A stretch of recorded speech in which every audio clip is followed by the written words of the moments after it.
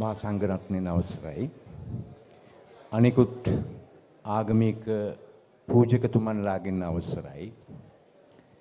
ජනාධිපති අපේක්ෂක සජිත් ප්‍රේමදාස මහතා ඇතුළු අගමැති මැති ඇමතිවරුන් සහ සම්භාවනීය අමුත්තන්ගෙන් අවසර. ඇත්තටම මම දේශපාලන පක්ෂයක කෙනෙක් නෙමෙයි. මම පුනරුදය කියන ව්‍යාපාරයක් තුළ මහජාන ආකල්ප වෙනස් කිරීම සඳහා වැඩ කරන කණ්ඩායමක සාමාජිකයෙක් විතරයි. ඉතින් මම එක්සත් ජාතික පාක්ෂිකයෙකු නොවී මේ වගේ වැදගත් අවස්ථාවක් මට ලබා දීම ගැන මම මේ උත්සවයේ සංවිධායක මහතුන්ටත් මුදල් ඇමති මංගල සමරවීර හා හරින් ප්‍රනාන්ඩු යන ඇමතිවරුන්ටත් මගේ ස්තුතිය පිරිනමනවා. ඇත්තටම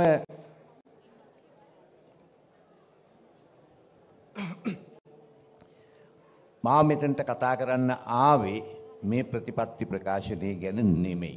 මට පෙනෙන වඩගත් කාරණා කීපයක් පිළිබඳව. අපි නිදහස ලැබිලා අවුරුදු හැත්ත එකක් වෙනවා. නමුත් තාමත් අපිට ජාතිය ගොඩ නගා ගැනීමට හැකි වෙලා නෑ මේ කියද කියද ජනක කතාව. ලංකාවේ දැන් පවතින අර්බුදය ජාතිය ගොඩනගා ගැනීමට අසමත්වීම තුළ ඇතිවී තිබෙන අර්බුදයක් හැටියට සලකන්න පුළුවන්. ඒ වගේම ඒ අර්බුදය කෙරෙහි වර්ගය කුලය ආගම කියන සාධක බරපතල ලෙස බලපාලා තියෙනවා. නිදහසින් පසු පාස්කු ඉරිදා ඇති වූ පහරදීම දක්වා ලංකාවේ ඇති වූ සිංහල දෙමළ මුස්ලිම් ප්‍රචණ්ඩ ගැටුම් කෙරෙහි මේ වර්ග කුල ආගම් ભેද අර්බුදය බලපාලා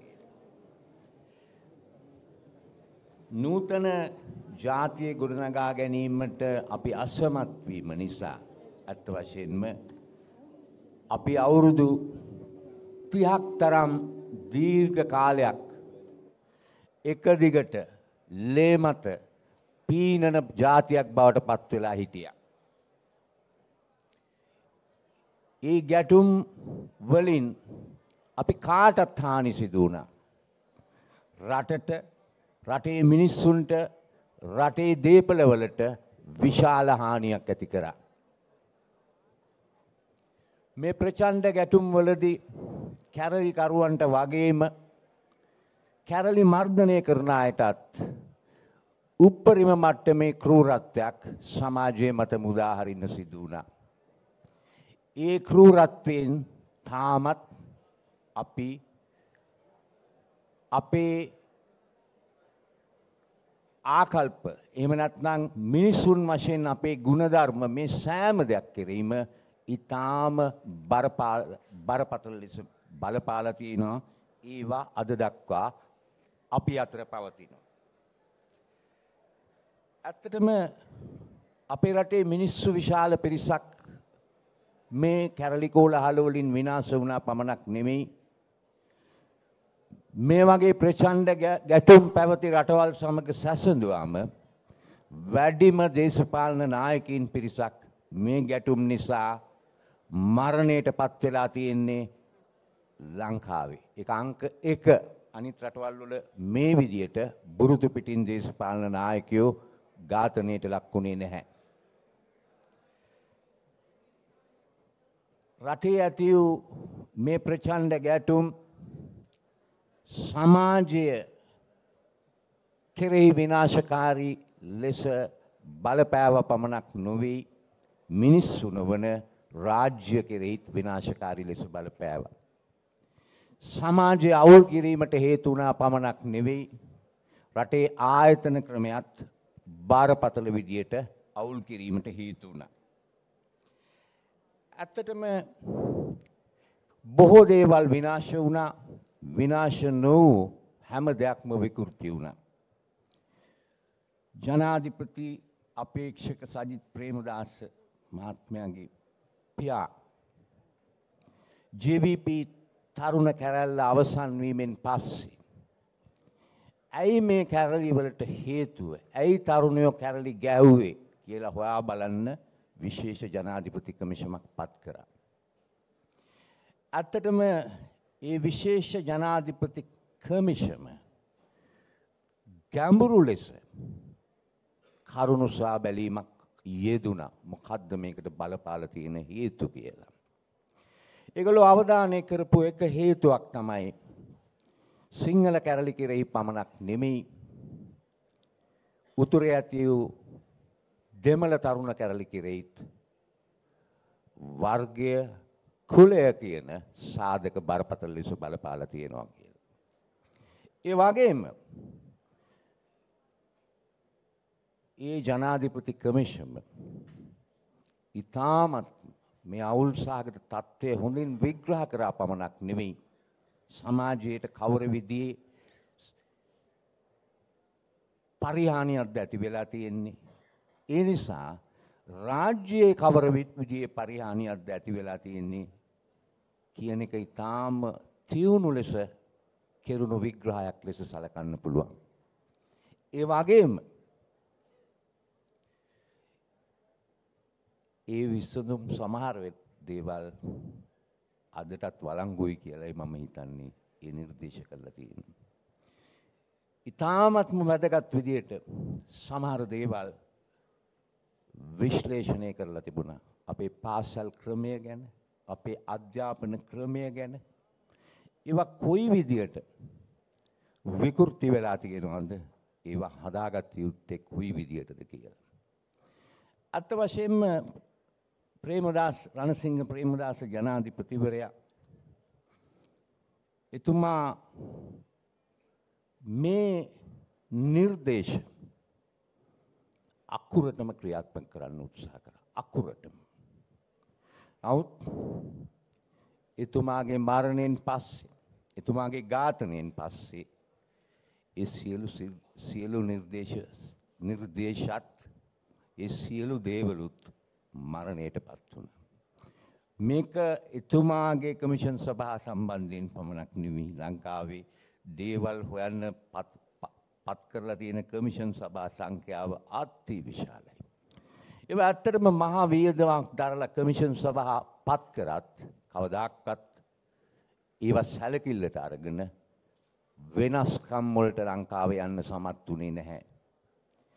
ලංකාව ප්‍රතිසංස්කරණ වලට බය රටක්. සමහර දේවල් බැලුවම වරදක් වුණාම ඒ වරද ගල් ගැහෙන්න ඉඩ නොදී ඉක්මනින් නිවැරදි කර ගැනීම අවශ්‍ය වෙනවා.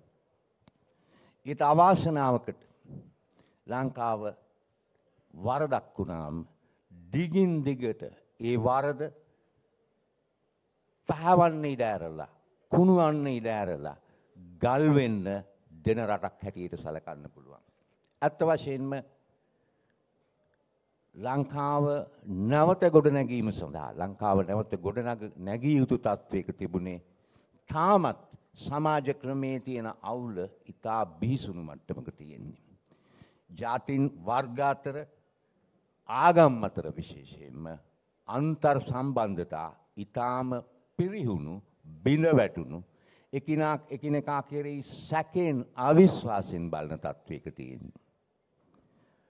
රාජ්‍ය තන්ත්‍රයත් රාජ්‍යත් රාජ්‍ය ආයතන ක්‍රමයත් ඇත්තටම හොඳටම කුණු වෙච්ච තත්ත්වයක තියෙන්නේ. මේවට අවධානය නොදී ඒවා වෙනස් නොකර මම හිතන්නේ නෑ රටට එක අඩියක්වත් යන්න පුළුවන් කියලා. ඇත්ත වශයෙන්ම ලංකාව ලංකාවේ ඇතිවී තිබෙන මේ කුණුවීම පිරිහීම ජයගන්න අවශ්‍ය ව්‍යවහමය ප්‍රතිසංස්කරන කරලියට ගෙනායුතුව තිබුණු ස්වර්ණමය අවස්ථාව තමයි අභ්‍යන්තර යුද්ධය ජයගැනීමෙන් පස්සේ.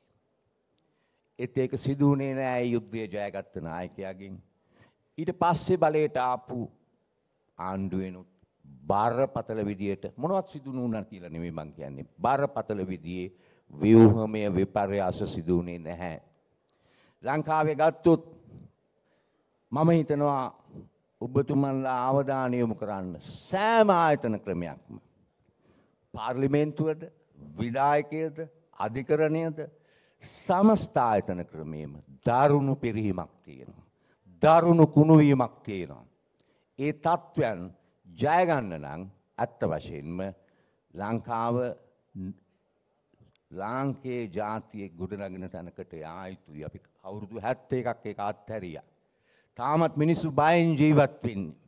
දෙවැනි කාරණය තමයි ඒ නිසා ඇති වූ ලේ වැගිරීම් නිසා අපේ රාජ්‍ය හා ආයතන ක්‍රමය මුළුමනින්ම ලොකු බිඳ වැටීමක් වෙලා තියෙනවා. ඇත්ත වශයෙන්ම මම හිතන දේ තමයි මට හිතන දේ තමයි සජිත් ප්‍රේමදාස ජනාධිපති අපේක්ෂකයා සමාජ විප්ලවයක් ගැන හීන දකිනවා. එක හොඳ හීනයක්. ඒ හීනය තුළට ඇතුළත් කරගන්න පාර්ලිමේන්තුවට සීමා නෝ මේ සමස්ත ක්‍රමය ආපසු හැරී බලන මොනවද වෙලා තියෙන වැරදි? කොතනින්ද ඒ වැරදි සිදු වෙලා තියෙන්නේ? මොකද කාටවත් අපහාස කරන්න නෙමෙයි අනාගතයට ඒ වැරදි උරුම නොකරන්න. ඒ වගේම තමයි අපි අසමත් වෙලා තියෙනවා ඇත්තටම නූතන ලෝකයේ විවස්ථා සම්පාදනය කියන්නේ පාර්ලිමේන්තුවට සීමා කළ එකක් නෙමෙයි. දැන් තියෙන්නේ කියන්නේ බරපතල විදියට පාර්ලිමේන්තුවට අතිරේකව මහජනයාට විශාල විදියට ක්‍රියාකාරීත්වයකට ඉඩ දෙන ක්‍රමයක්. දෙවැනි වැදගත් කාරණය තමයි අද නියෝජිත ප්‍රජාතන්ත්‍රවාදය පරණ ආකාරයකින් හැම්ම රටකම අසාර්ථකයි. අද නියෝජිත ප්‍රජාතන්ත්‍රවාදයට අලුත් අංග බොහෝ රටවල් එකතු කරමින් තියෙනවා. ඒ තමයි රිජු ප්‍රජාතන්ත්‍රවාදය අංග මන්ත්‍රීවරයා ආපසු කැඳවීම. ඒ කියන්නේ බරපතල විදියේ මහජනයා ලොකු පිරිසකට එකතු එකට එකතු වෙලා සමහරලාට පෙට්සමක් අත්සං කරන්න පුළුවන් කමිෂන්ස් මැතිවරණ කමිෂමේ නිරීක්ෂණය යටතේ. ඒ වගේ පෙට්සමක් පාර්ලිමේන්තුවට ආවම න්‍යාය පත්‍රයට ඇතුළත් කරලා වාද විවාද කරන්න ඕනේ. අද ඉතාම සාම්ප්‍රදායිකව තිබිච්ච. එංගලන්තේ පවා මහා බ්‍රතාන්‍යය පවා තමන්ගේ ආණ්ඩු ක්‍රමේ පරණ ආණ්ඩු ක්‍රමේ බොහෝ වෙනස්කම් ඇති කල්ලා තියෙනවා මන්ත්‍රීවරුන් ආපසු කැඳවීමේ අයිතියත් ඒ රටේ ජනයාට දීලා තියෙනවා. ඉතින් මම හිතන දේ තමයි ඇත්තටම ලෝකයේ නූතනේ විවස්ථා සම්පාදනය කියන්නේ ප්‍රභු උගත් සුළු පිරිසක් කරන දෙයක් නෙමෙයි. කෙලිම සෑම දෙයකටම අපි කල්පනා කරන්න අවුරුදු 71ක් නිදහස ලැබලා මේ ලංකාවේ නොසලකා හැරපු කොන් කරපු ලැබූ මිනිස් කණ්ඩායම් කොච්චර ප්‍රමාණයක් ඉන්නවද. ඒක සාධාරණද යුක්ති සහගතද බලන්න උපන්දිනය ගත්තම මොකද උපැන්න සහතිකය ගත්තම තාම උපැන්න සහතිකෙන් අහනවා අම්මයි තාත්තයි කසාද බැඳලද කියලා. මොන විලිලැජ්ජ නැන්ත. ඒ කියන්නේ ඇයි මේ වගේ තත්ත්වයකට රටක් පත් කරන්නේ ඒ වගේ උපත් ඒ වගේ උපතක් ලැබූ මිනිහා මැරණකං ඒක කරගහගෙන යනවද. මම ඒ කියන්නේ අවජාත කළ මේ කියලා. එකන්නේ මේ සමස්ත ක්‍රමය කුණු වෙලා තියෙන්නේ මම හිතන්නේ. කියන්නේ ඇත්ත වශයෙන්ම මේ ක්‍රමේ ගැඹුරු වෙනසක් ඇති කිරීම සඳහා ලංකාවේ ආරම්භක සාකච්ඡාවක් ආරම්භ කරපු දාට පමණක් ලංකාව පළවෙනි දවසේම උඩ යනවා. එමකද මිනිස්සුන්ට ලොකු විශ්වාසයක් ඇති වෙනවා. මම හිතනවා ඇත්ත වශයෙන්ම ලංකාවේ ආණ්ඩු ක්‍රම විවස්ථාව ආණ්ඩු ක්‍රමය වර්ග කුල ආගම්බේද කොහොමද මේක නැති කරන්නේ සියලු දෙනාට කොහොමද ඒ කියන්නේ ගෞරවයෙන් එකට ඉන්න පුළුවන් දේශයක් හදන්නේ ඒ සංවාදය ඔබතුමාට ආරම්භ කරන්න පුළුවන් මම හිතනවා ඔබතුමාට ඒකට අයිතියක් තියෙනවා. ලංකාවේ ඕන තරම් පහළ මිනිස්සු ඉන්නවා. මම හිතනවා ඒ කියන්නේ නිදහස ලැබෙනකොට ඒ කියන්නේ අපිට අපේ රටේ සමහර තැන්වල ප්‍රවේනිදාස ක්‍රමයක් තිබුණා. ඉඩමට බැඳලා තියෙන මිනිස්සු. රාජකාරී කරන ක්‍රමයක් තිබුණා. උඩරට ගැමි කමිෂන් සභාව කිව්වා 52 පත් කරපු මොනම දෙයක නාමයෙන්වත් මේ වගේ ක්‍රමයක් පවත්වාගෙන යන්න දෙන්න එපා කියලා. මේක අයින් කරන්න. මේක මුදලට කරන සේවයක් බවට පත් කරන්න කියලා.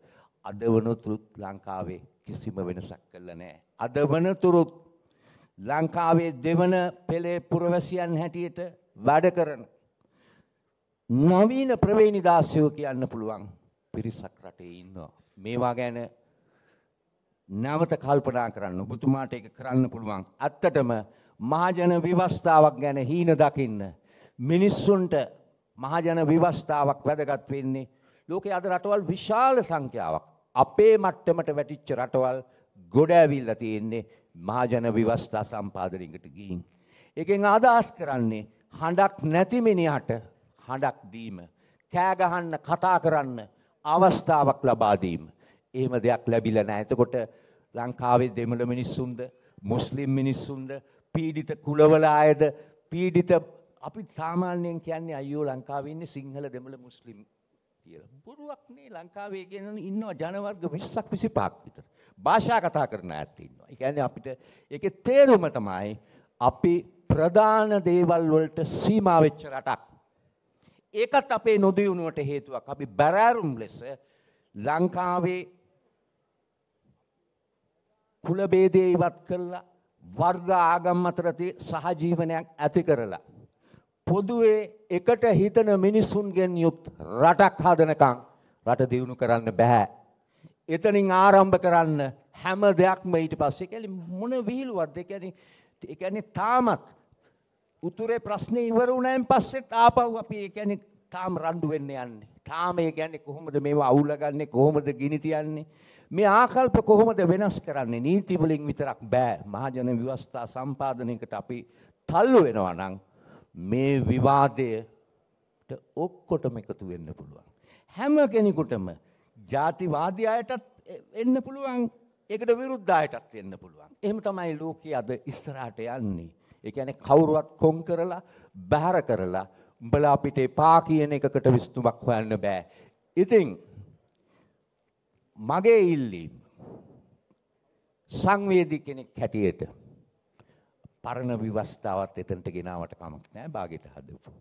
මහජන විවස්ථාවකට හීන දකින්න එදාට ලංකාවේ එක හරි විදියට ඉස්සරහට ගියොත් ලංකාවේ නියම සමාජ විප්ලවයක් ඇතිවේවි. එදාට නියම අහිංසක නොසලකා හැර තියෙන මිනිස්සු ඉස්සරහට ඇවිල්ලා ඒගොල්ලන්ට අයිති ගෞරවය හිමි කර ගනීවි. ඒ සඳහා අවශ්‍ය දැනුම ආශාව මම හිතනවා ඒ දේ පොඩි වැදගත්කමක් තියෙනවා දැන් මැතිවරණ වේදිකාවල ඒක කතා කරනවා. දැන් මහේෂ් සේනානායකගේ තියෙනවා මහජන විවස්ථා සම්පාදනයක් ගැන. ඊට පස්සේ